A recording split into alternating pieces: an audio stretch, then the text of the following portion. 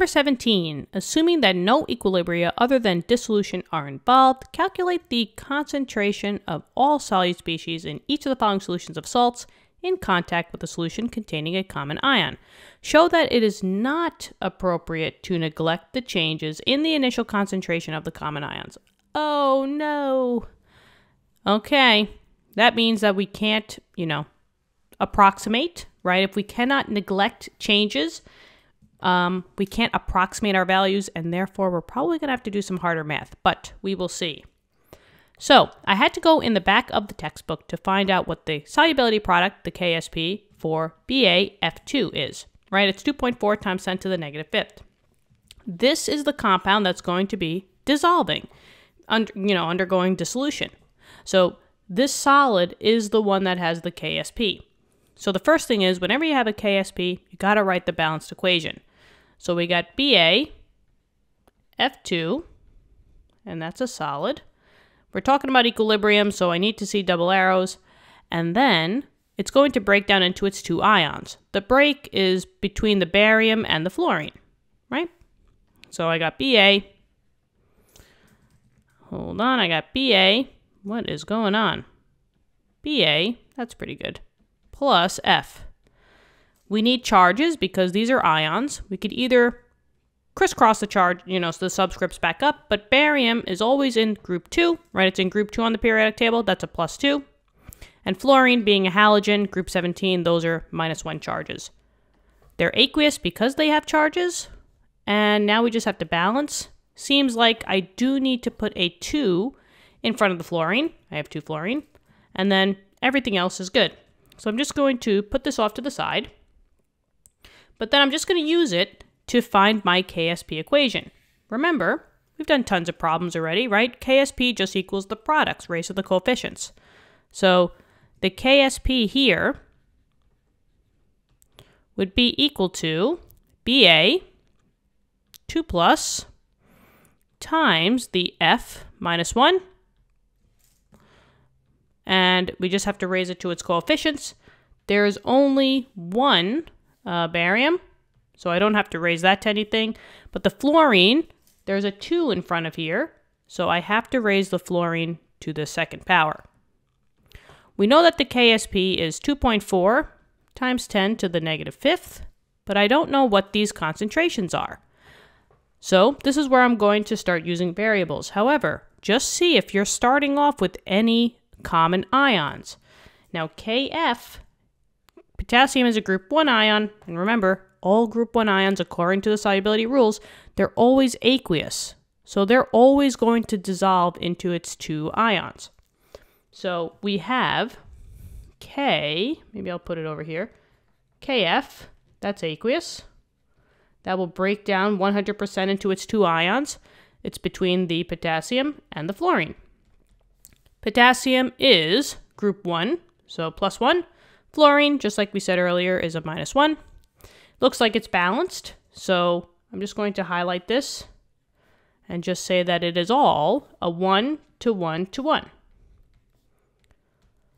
So I'm starting off with 0.0313 molarity. But the thing is, is that which ion do I care about? I only care about the one that is common, aka the same. Out of these two sets, which is the common ion? Yeah, it's the fluorine one. So I don't even care about the potassium. Now just look at your ratios. It's a 1 to 1. So whatever this KF has to be, the fluoride ion has to be the same. So this would be 0.0313 molarity. And since you're dissolving it in the KF, this molarity was already there in the beginning. This is your initial molarity. And anytime that you say initial, you have to write an ice table. So I'm coming over here and I'm writing my ice table out, ICE. Remember, solids, who cares? So I'm just going to cancel this whole side out. And you're starting with your fluorine. You're starting with 0.0313 molarity. You didn't start off with any barium, so zero. The change since you start off with nothing, you can only go up from there. So that would be plus x. and plus 1x. And the same here, but this would be plus 2x. Combine them, 0 plus x is just x, and then this would be 0 0.0313 plus 2x. And now, whoop, and now these are your two equilibrium values that are going to go in your KSP. So the barium ion is going to be X, and the fluoride ion is going to be 0.0313 plus 2x. Now here's the thing. Fingers crossed, you know, when you do these problems that you can approximate and you can say that the change from your initial concentration to your final is not great, that this won't even move this number. So generally, we approximate by getting rid of the plus 2x in this case. So I'm just going to set it up for you, and then I'm just going to find x, because it already is telling us that we can't do that, but it says show it. So if we approximate it, and I said 2.4 times 10 to the negative fifth equals, uh, this would be x, and then this would be 0.0313 squared. If we just take some time and solve for x, what are we going to get? Well, I have to square that. Oop, I have to square that, so 0.0313 squared. And then I will take 2.4 times 10 to the negative fifth and divide it by that answer. So I get roughly 0.0245 molarity. Now, here we know if our approximation is correct. It's the 5% rule. What we're going to do is we're going to take our number and divide it by the initial, which is 0.0313, and we're going to times that by 100. Hopefully, our number is 5 or less, because then we assumed correctly and we could go on our merry way. But in this case, 0.0245 divided by 0.0313 times 100, yeah, I get 78%. So we can't approximate here, unfortunately, which means that I have to go back and I can't just get rid of that plus 2x. I have to keep it there. And now we have to do the math with the actual plus 2x. So let's do it for real. So I'm just going to say we did not. We failed the 5% rule. And now here we go. 2.4 times 10 to the negative fifth equals. Oh man, I, I can already see what's going to happen here. This is not. Oh man, this is. This is not going to be good. okay, so here we go. Right off the bat, I have to do double bubble. Yeah. So remember, when you have something squared, that means you have two of them being multiplied by each other. So 0.0313 plus 2x, 0.0313 plus 2x. And now I have to do my FOIL. So I have to multiply this by this. Actually, I think I, this by this, and by this by this, and then this by this, and this by this. Okay. So, let's see. 0.0313 times 0.0313. I get 9.7969 times 10 to the negative fourth. 0.0313 times 2 plus, now I'm doing the second term, 0.0626x. That was this times this. And then it's the same thing, moving inward, 0.0626x, and then plus 4x squared. Combine like terms, right? I can plus the two x's together, 0.0626 plus 0.0626. I can just erase one of them.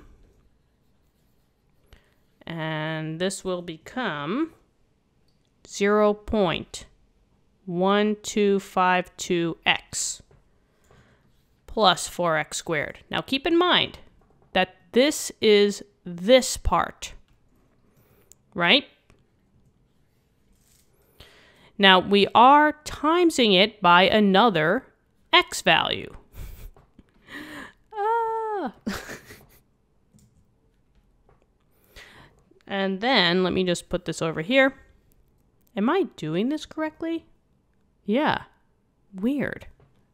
This one is crazy. 2.4 times 10 to the negative fifth equals this, and now we just have to distribute.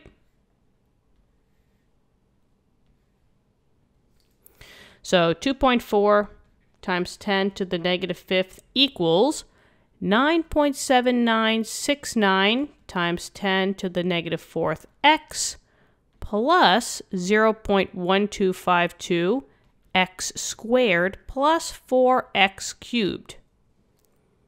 Now we have to get everything over to one side.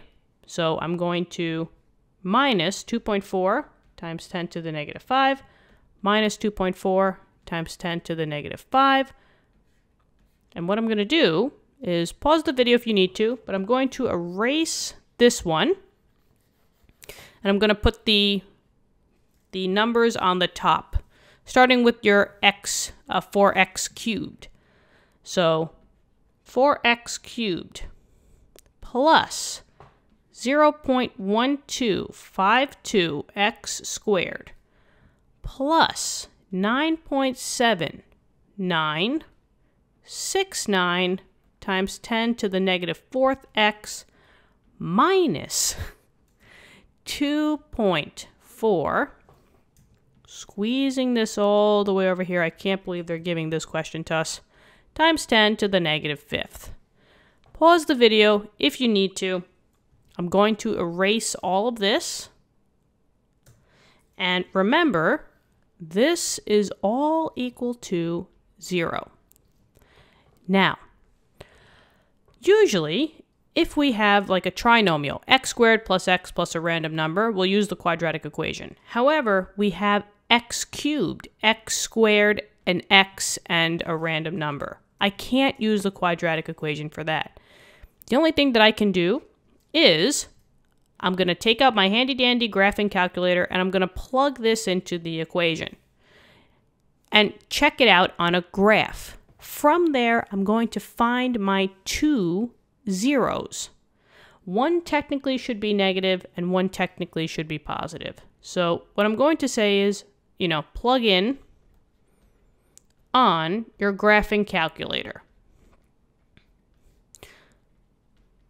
Okay. So here I go. I'm going to, uh, you know, y equals. I got y1 equals, and I'm going to plug it all in. So 4, where's my x value? 4x raised to the third plus 0.1252 x raised to the second plus 9.7969 times 10 to the negative fourth times x minus 2.4 times 10 to the negative fifth. Now, it is in my calculator. I'm going to press the word graph, and I should get a graph. And now I'm basically just going to go to my table and see if I could find zeros. So let's see, I'm scrolling, I'm scrolling down I should be able to get something. Do I have an actual value? Let's see. Now, after some finagling, I, I did kind of get the closest x value that I can get to when y equals 0 was basically an x equals 0 0.1116 molarity. Now you could try it on your own. Go to your graphing calculator, plug this in, whoop, plug this equation in, and just look at the graph.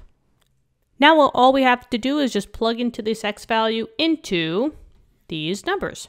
So, seems like we have a BA 2 plus concentration, which was just X. So that would be 0.1116 molarity. And then for our F minus, it was 0.0313 plus 2x, so we have to plug in that x value into the equation. So 0.0313 plus 2 times 0.1116. And I get roughly 0.2545. That's molarity. And these are your two concentrations of your solutes. Oh my goodness. But yeah, once again, we could not have done the uh, quadratic equation because we have an x cubed here. So the only thing that we could do was plug it into the graphing calculator and find like a, uh, a y-intercept. All right? Or uh, not a y-intercept, an x-intercept, where y equals 0. Yes. Okay, so thank you so much. Hopefully this helped. Let me know in the comments, subscribe to the channel, and I will see you all in later lessons. Okay, bye-bye.